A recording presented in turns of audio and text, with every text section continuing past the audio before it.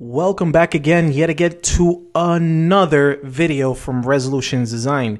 If you're brand new to this channel, as I tell everyone else, this is the venue or this is the area where you learn everything related to Shopify. In today's video, we are going to talk about shipping again. But in my last video, which I'll plug in on the upper right hand corner in case you missed it, we spoke about how to set up shipping if you are someone who does drop shipping. So if you want to go and revisit that video because you're a drop shipping business, go up up in the right hand corner. I'll leave a link there. But this video, what we're going to learn is how to set up shipping if you're a private supplier. A private supplier, by the way, what that means is that if you are a business that you're not using AliExpress, you're not using uh, these drop shipping companies, Oberlo, you're not using none of that. Instead, you're buying the products yourself, you're fulfilling them yourself, or you have a fulfillment center which does this for you. That's what you're going to learn in this video how to set up shipping if you're doing this yourself. So, we're going to cover a lot of USPS stuff, uh, a lot of rules when it comes to shipping. That's what we're going to learn today. All right. So, again, if you like this type of content, make sure that you subscribe. Turn that notification bell on so that you know when I'm coming out with a hot new video that's really going to help you out on your business. Okay. So, now that we got that out the way, let's get started. Okay, so in this particular video, we're going to use the vessel market, one of our clients. You know, we have more coming soon related to this business, so I'm very excited for it, okay? So let's dive in right away. What is the objective? This is the objective. I'm going to show you. So, this right here is the type of shipping that we need to set up, right? We need to offer these prices to our clients. But the issue is a little bit more complicated than that. It's not just these prices, we have a range of shipping that we need to make sure that we have categorized here. So we need to make sure that uh, we have what, what are called classes. We need to create classes, right? And then we need to create prices for each and every one of them. You'll understand what I mean in a second. But now that you understand the visuals of this, let's go first and do something very important. We're going to go to the products. Now, in this particular example, we don't have too many products. We want to keep it nice and simple for you guys. So we have these vessels and then we have, you know, 10 ounce, 14 ounce in two different colors. Okay. And what we want to do first is we want to do a bulk change. We want to update the weight value of all these products. This is very important. Why is weight important? Well, weight is going to allow us to program the rules in the shipping. So please make sure that you're following the weight instruction first, and then we're going to go into the shipping. Okay, so this is what we're going to do first. Uh, we're going to go right here and first find out how much do these products weigh. Okay, so I went fast forward and I already got the weight. Let's go ahead and add this in. So we're gonna go here into the bulk editor. I'm gonna select every one of them. Uh, if you cannot select every one of them all in one shot, uh, just make sure that you click on this button right here and there might be a link over here. It says click to select 50 plus products and that's exactly what you wanna do, okay? All right, so we're gonna go here where it says edit products and this is gonna take us to our bulk editor. By default, this almost looks like Microsoft Excel. Uh, by default, we have these fields here. We don't really much care about SKU or compare at price, so we're going to exit those out. Uh, you saw how easy that was. It might take longer for you if you have a very long list, so just be patient. All right, right here, we're going to go to add fields, and right here, what we're looking for is weight. We're going to click on weight, and now here it is. And oh, great. So our client went ahead and added the weight values here. So we have 12 pounds for the 10 ounce, right? And then right here, this one's 15 pounds, and then 12, and then 15. Great. So we have the pounds ready. Uh, you don't have to use pounds. You could use, go right here, and you could change to ounces, kilograms, or grams whichever one that you feel is fit. Now, you don't have to be technical about it, it doesn't have to be accurate. For us, we're just using this as something that we would use as rule sets. So, again, step number one is to make sure that all your products in this particular instance is using weight. So, this training is how to set up shipping based on weight. we we will do a separate video when it's based on price. But this one, I want to make sure that I'm very clear on this. All right, let's continue. So the next step, let's go right ahead into settings. We're going to go into settings here, and then we're going to shipping and delivery. And if you're doing this for the first time, this might seem kind of weird. So let's go right here to it says manage rates. And then from there, we're going to notice that we have some default values. Um, by the way, strong disclosure if you get stuck somewhere around here, make sure that you have the location set up. So let me just back up on this and show you because some of you guys might have problems with this, others might not. So, strong clarification on what location is. So location by default, whatever address that you place on the general. So if you go right here, if you click on this right here and you see what you have placed as an address, um, chances are that address, which perhaps might be your home address, will copy paste into locations. And what you need to do is make sure that you update your location so that it's not showing your house. So instead, it's showing your fulfillment center or it's showing, let's say, like a PO box, which is what I recommend. So if you're working from home, but you are shipping your products from home, when you deliver it, you don't want to show anybody where you live. What you want to do is go get a PO box. Uh, it, it, you get one of the cheapest ones. It doesn't cost that much a month. Uh, they give you a key. You have to fill out an application, so on and so forth. And what you do on the location is that you put the post office where you purchase the PO box, you go and you put that address. So go on Google Maps, look for the post office that you purchased your PO box. That's the address that you're going to put on locations. But, you know, you're going to put on address line number 2, you're going to put PO box 1000 blah blah blah blah with the whole foot zip code and everything.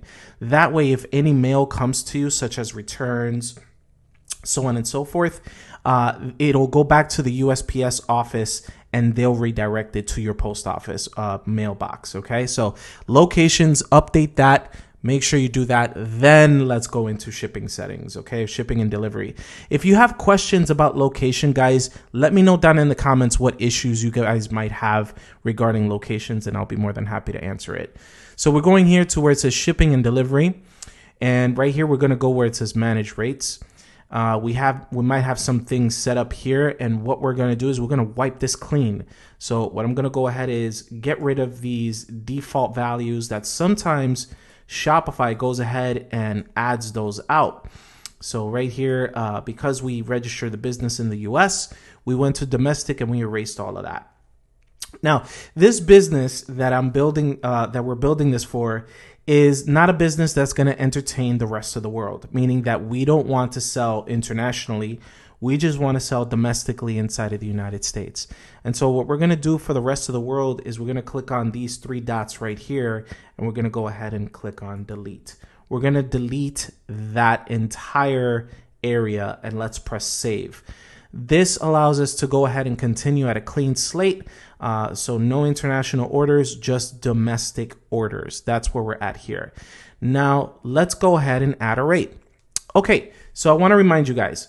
Um, let me show you this screenshot right here. Um, our client went ahead and told us, hey, we want to use something like this because there are good rates that she gets. Like she gets very, very good rates and she's like, you know, I, I, don't care if I profit two or three dollars on top of whatever these rates are, but I wanted to emulate something like this. Well, after looking at this these rates and kind of like testing out the weight values and all that, I realized that she was right, that she does have very good rates. These are actually very good rates. Let me know down in the comments if you're interested in finding out who gives you the, the cheapest USPS rates. And then depending on how many comments I get, I'll go ahead and make another video, give you guys the secret. But I want to know if you guys need it. I don't want to make a video for no reason. So these are her rates. When I seen these rates, I realized, hey, you know what? Shopify also acts as a USPS broker. Uh, just to explain what a USPS broker means, okay? If you go to the post office, you are going to pay the most retail price for shipping, right? Just as a walk in, you're going to get the walk in price, and the walk in price is typically the most expensive. You could go to USPS.com and you could see what those values are. Maybe if you go to USPS.com, you'll see an online special price, but typically that's how it works. A USPS broker is a business who cuts a deal with USPS and says, look, we're going to give you a lot of orders, but we need you to give us discounted prices so that we can give our clients, you guys, discounted prices. That's called being a broker, that they have a special account that they create with USPS and then give you the benefits. You are now looking right now at a very low discount price because this company here is using is a USPS broker and is giving the merchant these values. I looked at Shopify's prices, and Shopify's prices are much higher than what you see here. And so we were like, hey, you know what? Then let's do the calculated pricing. So this video, we're gonna we're going to integrate USPS calculated pricing. And let's go. Let's let's get back into the scenario here. So how do we do that? We come back over here and we're gonna go ahead and add a rate. Okay. So from right here, instead of setting our own rates, we're gonna use a carrier. We're to use a carrier. And then from this here, we're going to click on this drop down and we're to use USPS discounted rates from Shopify shipping. Remember, Shopify is acting as a carrier, right? Or a broker. Now, every business is different from this here, okay? So depending on what you are selling, you might be only, you know, you might be able to only ship out using a specific service, okay?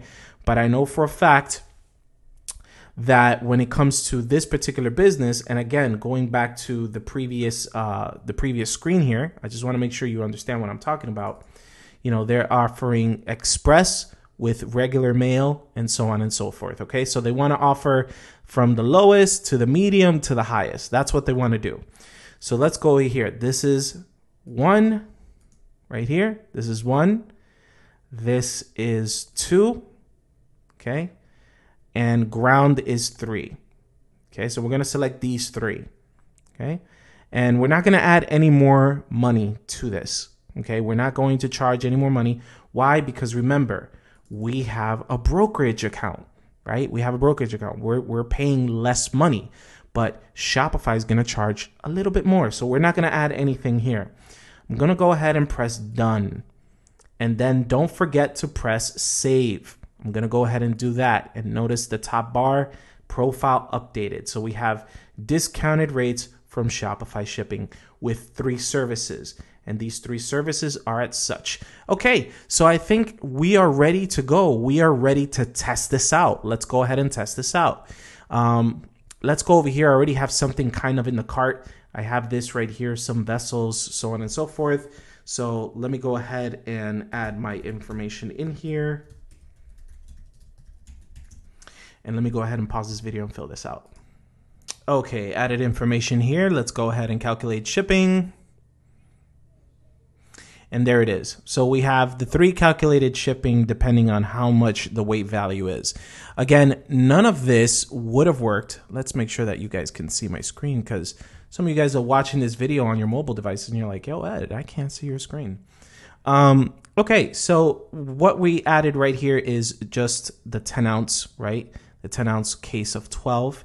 And as you can see, we have three different shipping options. One doesn't differ from the other as far as prices is only like a few cents. And then after this, we have um, one business day, which is 58.30. So the customer gets to choose. Um, what's very interesting about this is that we could go ahead and play around with the numbers. So let's go back to the cart Let's add three of these and let's go to the checkout. Let's see how all of this just automatically calculates and there you have it. You could see how that raised the price slightly, especially when it came down to the Priority Express. And that's how it's done. It's pretty much it. That that's pretty much it. So go ahead and let me know if you like this type of video, if it actually helped. Um, also, let me know if you need a video where it doesn't talk about calculated shipping right? Um, it's not related to calculated shipping. It's just you doing the shipping yourself, uh, you setting the price yourself. Let me know shipping scenarios in the comments. Say, look, I want to ship it so that it's free after X amount of dollars, but you know, underneath you know, X amount of dollars, I want to charge this much. And then after that, I want to charge this much. So give me your shipping complication in the comments, and then I'll try to see the best way to explain that to you. Shipping is a very complicated subject for many, and that's why I'm doing this video. Uh, I'm sorry I can't pack everything all in one video uh, because shipping has so many different scenarios that I'm waiting in the comments to see what you guys ha- are having problems with so I can make a video for that type of shipping. Other than that, thank you again. Don't forget to subscribe. Press that blue like button. That's how you support this page. And thank you once again. See you next time.